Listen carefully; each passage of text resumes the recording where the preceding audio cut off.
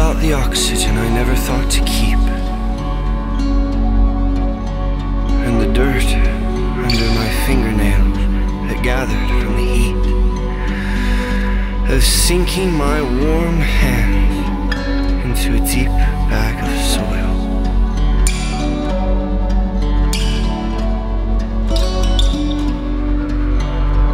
I couldn't stop the sweat, could wipe it away with her dress again and again to keep her stinging from my eyes. To keep her beaches filled with bodies. To keep her cobblestone discreet.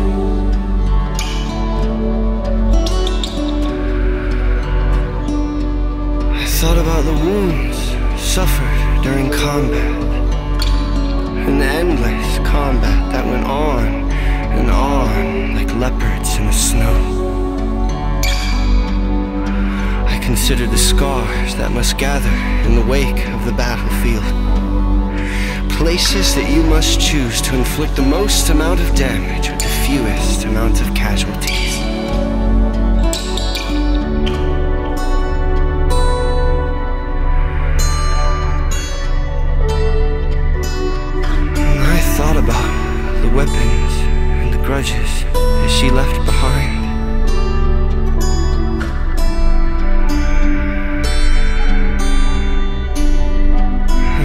about the light